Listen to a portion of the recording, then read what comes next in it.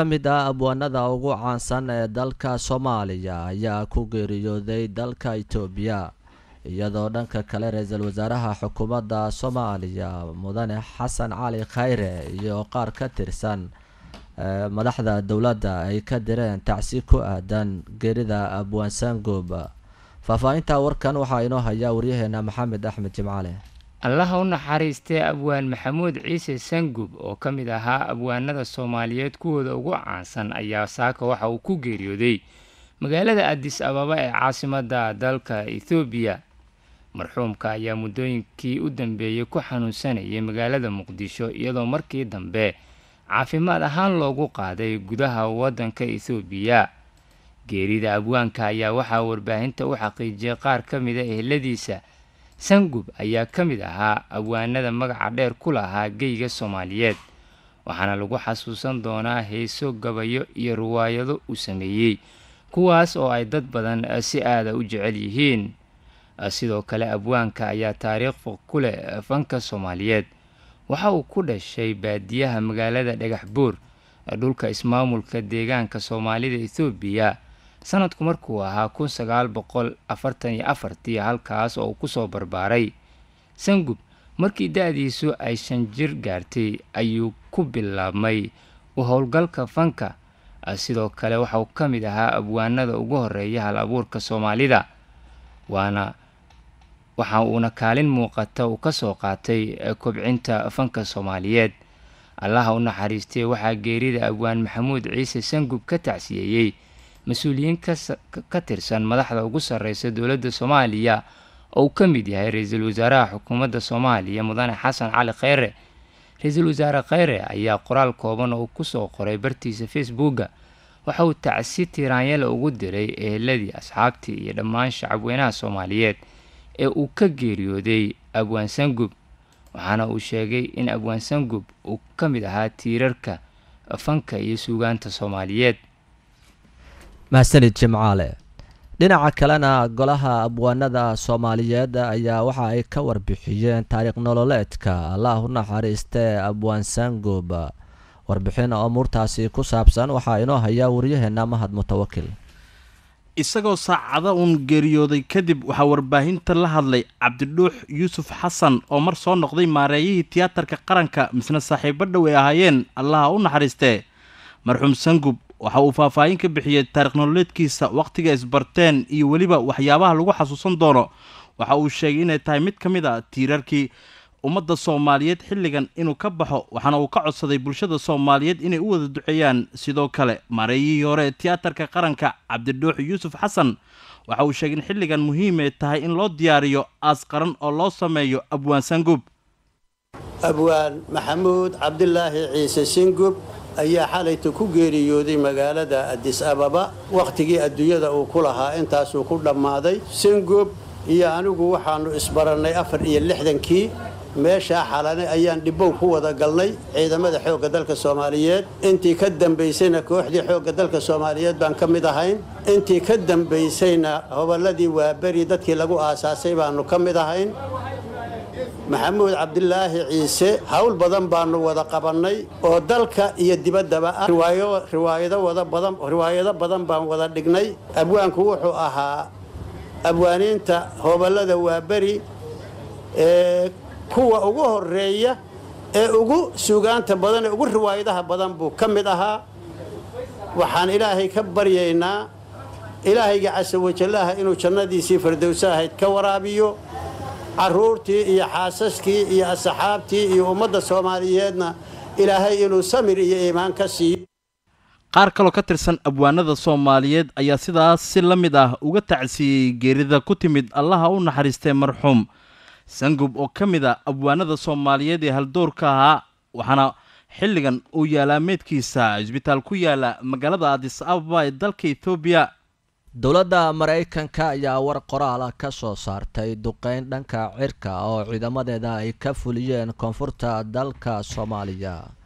Waryaheena maxamed cabdiqaani salaad ayaa faahfaahinta warkaasi inoo haya. Milatariga maraykanka ayaa ku sheegay war ay soo saareen isniintii inay dileen laba dagaalyahan oo ka tirsan xarakada al-shabaab maraykanka ayaa sheegay in duqayntiisa uu ka fuliyey koonfurta soomaaliya axaddii ina soo dhaaftay islamarkaana uu ku dilay laba dagaalyahan oo al-shabaab ka tirsan. Taliska ciidamada maraykanka ee afrika ayaa waxa ay sheegeen in ay caawin ka heleen dowladda soomaaliya ka hor intaysan fulin howlgalka duqaynta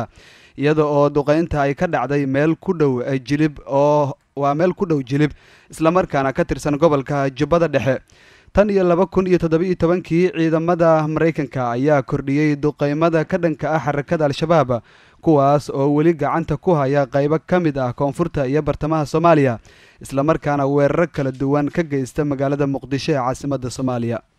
Dowladda soomaaliya ayaa ku guulaysatay inay dib u soo celiso codkii dalka uu ku lahaa ururka shaqaalaha adduunka soddon iyo saddex sano kadib faahfaahinta warkan waxaa inoo haysaa waryaheena nafisa.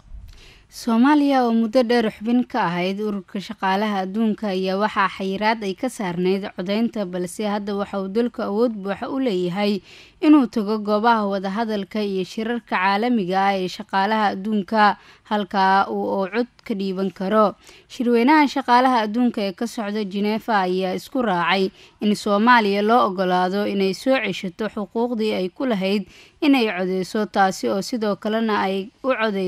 codeeyeen boqol sagaashan iyo kow xubnood iyadoo arrintaani oo si weyn u soo dhoweeyey wasiirka shaqada iyo arrimaha bulshada xukuumadda soomaaliya sadiiq xirsi warfaa arrintaani muddo ayaa laga shaqaynayay. Muhiimad weyn ayayna u leedahay dalka in aan dib u helno codkii aan ku lahayn ururka shaqaalaha adduunka ee xayiraada naga saarnaa tan iyo markii dowladdii dhexe ay meesha ka baxday ayuu yiri wasiirka shaqada iyo arrimaha bulshada sadiiq xirsi warfaa oo magaalada jineefa kaga qayb galay shirweynaha shaqada adduunka. Wasiir sadiiq warfaa ayaa muujiyey siyaasadda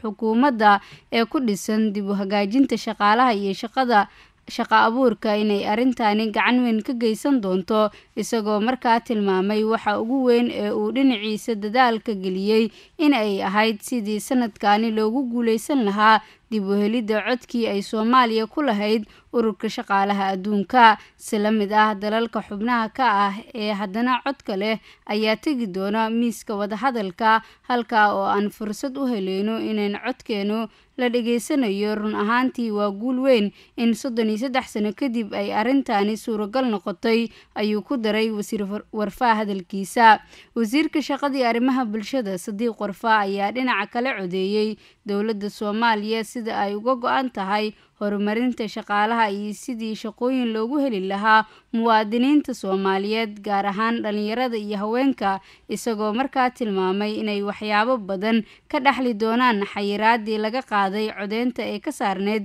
hay'adda waa shaqada adduunka ee i l o muddadii soddon iyo saddexda sano ahayd ee la soo dhaafay ciidamada ammaanka maamulka puntland ayaa lagu soo waramayaa in howlgal ballaaran ay ka wadaan waqooyiga magaalada gaalkacyo ee xarunta gobolka mudug wariyaha idaacadda shabeelle uga soo warama magaaladaasi cali xasan barqadle cali gaab ayaa warbixintan inoo soo diray. Ciidamada ammaanka maamulka puntland ayaa howlgallo ay ku xaqiijinayaan ammaanka. Waxay ka sameeyeen waqooyiga magaalada gaalkacyo xarunta gobolka mudug. Howlgallada oo ay tan iyo xalay ciidamada ammaanka maamulka puntland ay sameynayeen ayaa waxaa la sheegay in laga sameeyey xaafado kala duwan oo ku yaalla waqooyiga magaalada gaalkacyo xarunta gobolka mudug saraakiisha ciidamada ammaanka maamulka puntland oo warbaahinta qaar la hadla waxay sheegeen in ammaanka lagu xaqiijinayo howlgalka islamarkaasna looga hortagayo faalka amni darro ee ka dhaca inta badan deegaanada gobolka mudug ciidamada ammaanka maamulka puntland ayaa bilihii ugu dambeeyey dardargeliya howlgalada xoogan ee ay ka sameynayaan waqooyiga magaalada gaalkacyo ilaa iyo haatan howlgalada ciidamada amniga maamulka puntland ay ka sameeyeen waqooyiga magaalada gaalkacyo ma aysa shaacin cidda ay ku soo qabteen iyo sidoo kaleete bartilmaameedka howlgaladaasi ay u fuliyeen ciidamada amnigu tan iyo doorashadii madaxweyne saciid cabdulaahi deni waxaa soo hagaagaya ammaanka waqooyiga magaalada gaalkacyo ee xarunta gobolka mudug cali. Xasan barqadle caliga wararka shabeelle gaalkacyo madaxweynaha maamulka koonfur galbeed ayaa guddi gaar ah oo qiimeyn ama baaritaan ku sameeya u magacaabay dadkii dhowaan lagu dilay magaalada gaalkacyo ee ka soo jeeda deegaanada maamulkiisa. Waryaheena cabdulaahi cismaan cadaani ayaa faahfaahinta warkan inoo haya. Cabdicasiis xasan maxamed lafta gareen madaxweynaha maamulka koonfur galbeed soomaaliya ayaa maanta guddi u xil saaray dilalkii ka dhacay magaalooyinka dhuusamareeb iyo gaalkacyo kuwaasoo loo geystay dad ka soo jeeda deegaanada maamulkiisa. Guddigan oo ka kooban ilaa i lix xubnood ayaa kala ah. Wasiirka garsoorka koonfur galbeed maxamed xuseen xasan xildhibaan cabdulaahi aadan axmed balaag. Xildhibaan cusmaan mucalin cabdi ibraahim. Xildhibaan cabdulaahi nuur maxamed.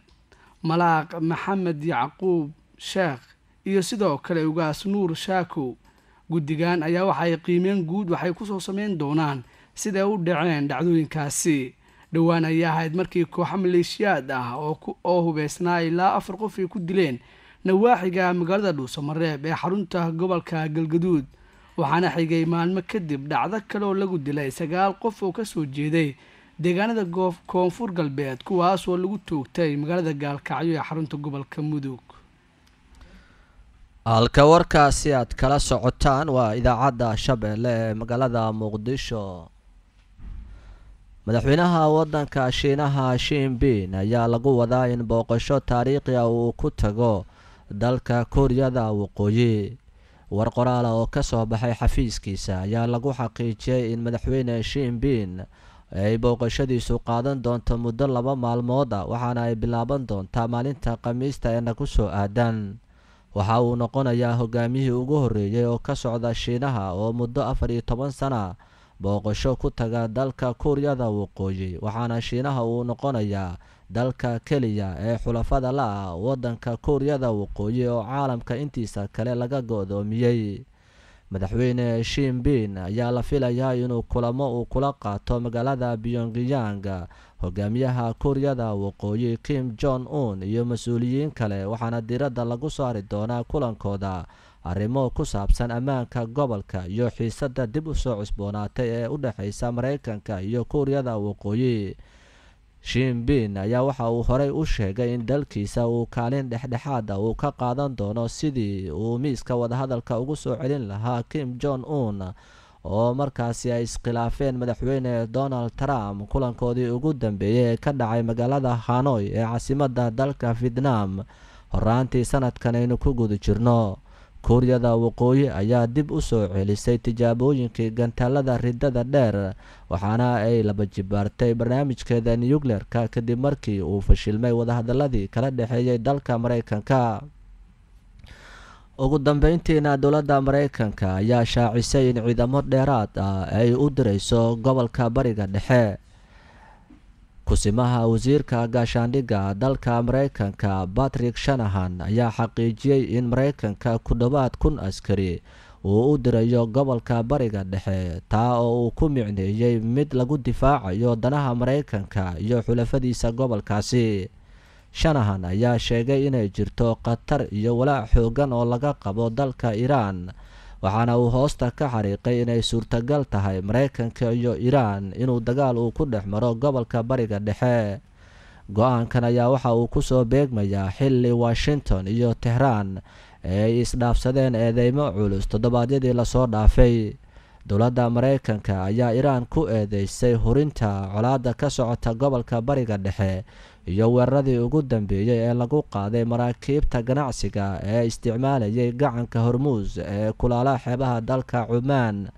Xukuumadda tehraan ayaa beenisay inay ku lug leedahay labadii weerar ee ugu dambeeyey ee lagu qaaday maraakiibta ganacsiga waxaana ay sheegtay in tallaabadan ay tahay mid la siyaasadeeyey oo mareykanka uu ka dambeeyo. Si kastaba waxaa jirta cabsi xoogan oo laga qabo in mareykanka iyo iiraan ay isku fara saaraan gobolka bariga dhexe islamarkaana ay saameyn ku yeelato hanaanka dhaqaalaha gobolkaasi iyo midka siyaasadeed. Iiraan ayaa horey waxa ay u sheegtay in madaxweyne donald trump uu hurinayo colaada gobolkaasi islamarkaana uu mas'uul ka yahay in iiraan ay dib ugu noqoto cadaawadda islamarkaana ay laba jibaarto bacriminta barnaamijkeeda nukleerka gaar ahaan macdanta uranium-ka madaxweyne donald trump waxa uu sheegay in dalka mareykanka uu doonayo inuu arko isbeddel dhinaca hogaanka gudaha dalka iiraan taasina ay tahay mid ku imaan karta qaab militari mareykanka ayaa bishii la soo dhaafay maraakiib dagaal waxa uu geeyey biyaha kulaala dalkaasi iiraan taana waxa ay sare u qaaday xiisadda colaadeed ee u dhexaysa labadan dal